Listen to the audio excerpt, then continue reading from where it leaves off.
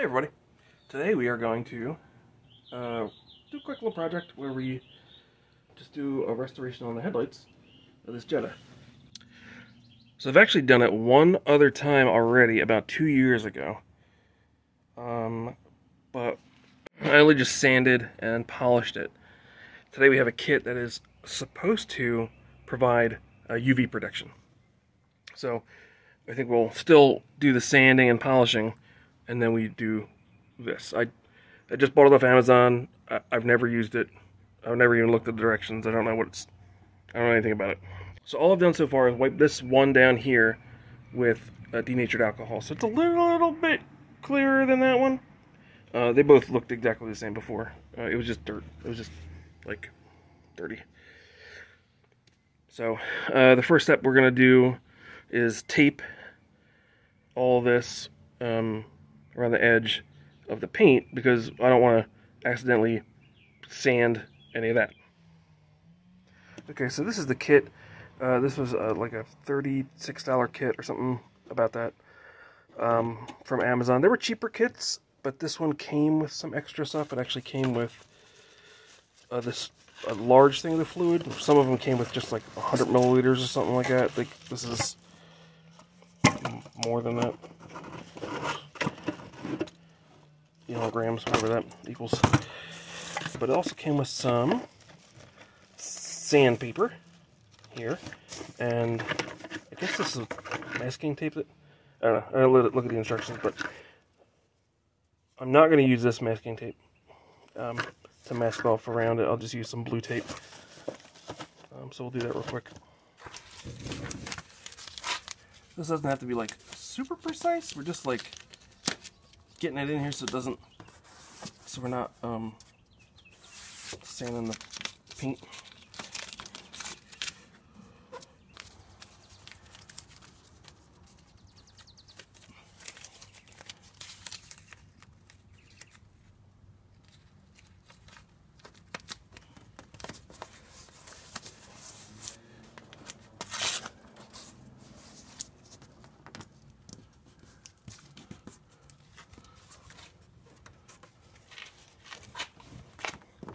Don't have to worry about any of that, obviously, because there's no paint, and also, I'm not going to go up this far.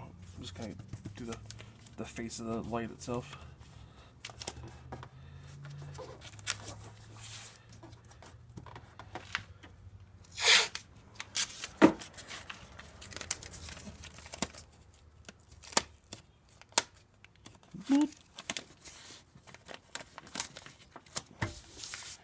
Alright, that's it.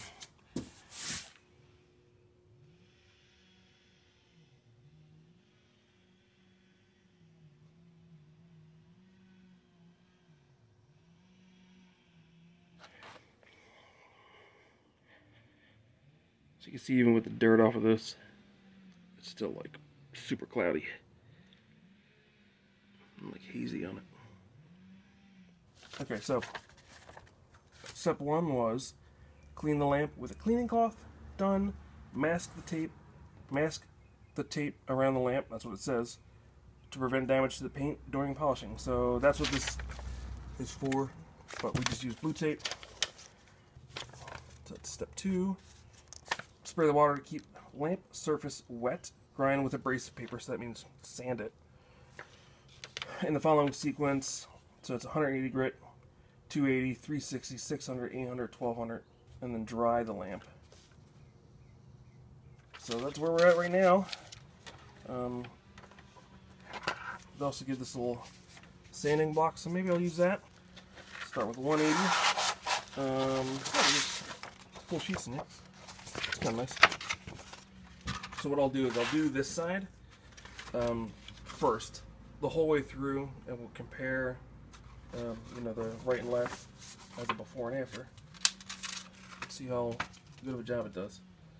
So just cut the, the full sheet into quarters, and just big enough to go on the uh, sanding pad like that. This is rubbing alcohol, I guess. Um, we just need like a lubricant on this to sand with. Let's see how well this does.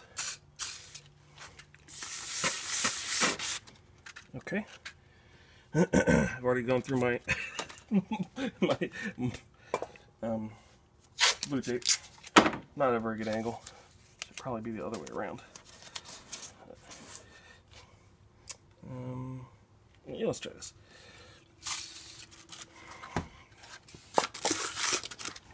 So gritty.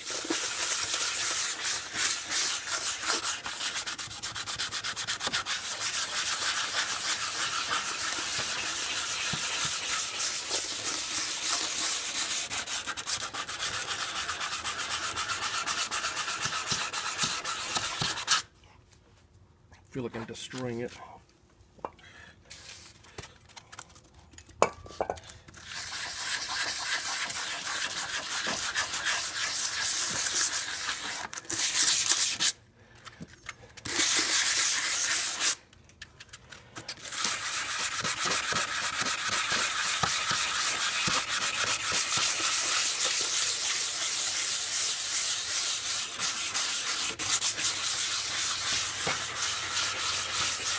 Okay, that's 180. Uh, I'm just going to work through the uh, the rest of them, and uh, we'll bring you back. I think once we're all, all through the grits.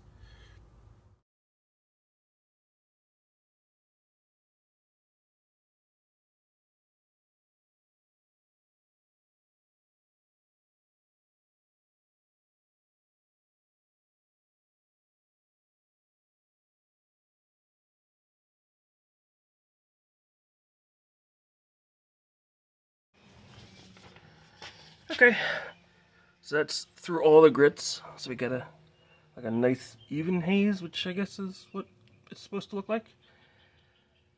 Um, the next step is to dry it. So that's to dry it. And then it's on to this thing. The air outlet of the atom atomizing cup is about one centimeter away from the lamp surface and moves and move moves smoothly from the edge. Turn the power turn off the power after the repair. Wait two minutes without repetition. Alright, we'll see what that looks like. Uh, I guess I'll take this tape off. I don't want anything to react with that tape. This is what we have going on here. No, not this. There's the this like travel mug looking thing. It has this plug. And we have this lid.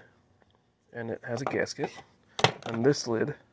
I put that gasket on already. And then there's a straw. And a funnel. And a cigarette lighter adapter. And then it has an AC one. And by the way, this little AC cord that's the thinnest cord I've ever seen for AC. So I don't know. I put this gas, you know, I put this gasket on there. That fits okay on there, nice and tight. But I guess that's it. Doesn't say anything. It doesn't show how to use this. Like that looks like it could be something. But what's this stuff for? What do I need to is this for putting it back in the container? What's this for? Is that for this thing?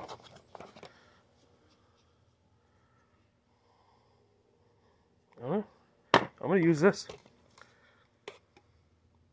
Like this, I think. I just poured the solution into the travel mug thing. And it's blue. That was not what I was expecting but I'm gonna plug it in now. Okay, I plugged it in. Um, it has a light on it. There's no real indication that anything else is happening. There's a switch on it. So.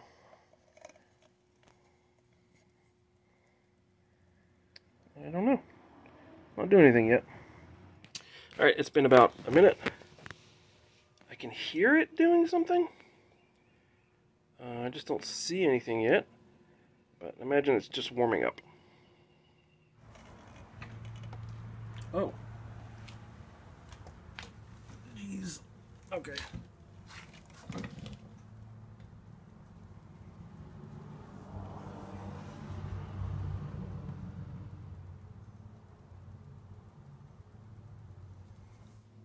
Okay, so I just and I thought, maybe something's coming out of it. Well, it is. I just don't see it. Like, it's not something you see happening, I guess.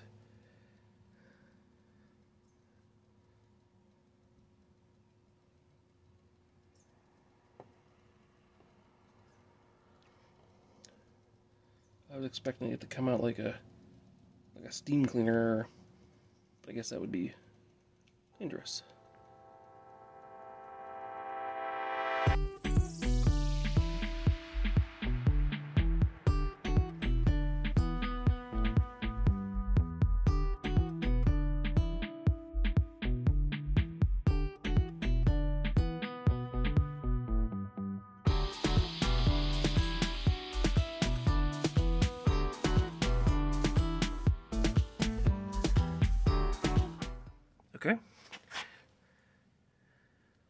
There it is. Like, looks really good. If you look close, uh, I don't know if you'll be able to see. Yeah. But you'll see, like, where I didn't get some of the bigger scratches out. The deeper, I guess, from 180. But if you look at it compared to this one, looks way better. So I'm not going to redo this one now. I am going to do the other one. And I'll try to work at the, I guess, in-between grits a little more to get it more uniform. Pretty good.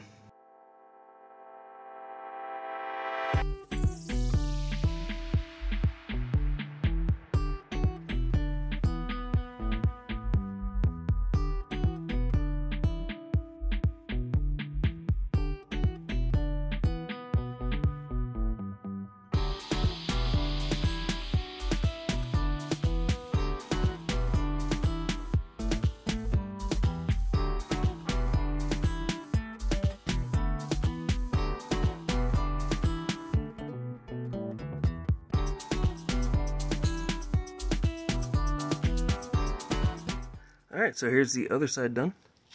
That turned out pretty good too. And here's what it looks like out in the sun.